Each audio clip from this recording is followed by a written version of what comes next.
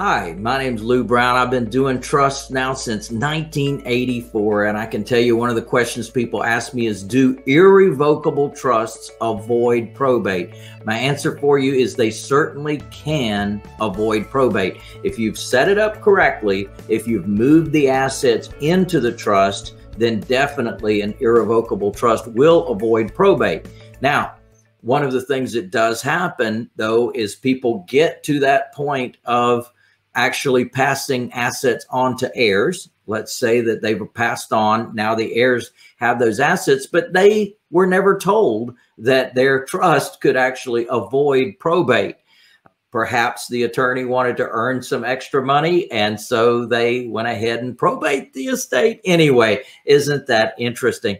I've actually heard stories about people that inherit properties actually in the trust and then the attorney has them take it out of the trust, put it in their own names, still go through a full probate of the estate.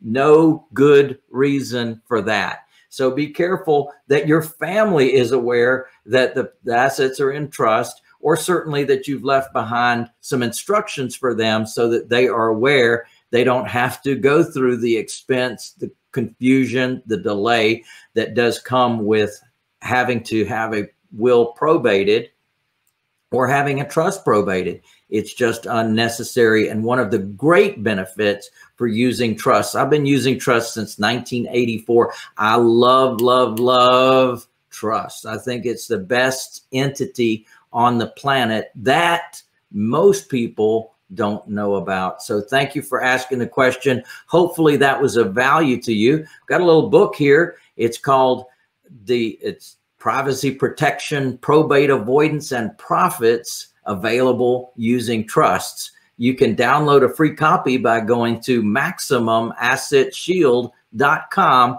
forward slash book. That's free. And also, you can learn more about our upcoming event or my home study course on trusts. So, see you soon. Yeah, baby.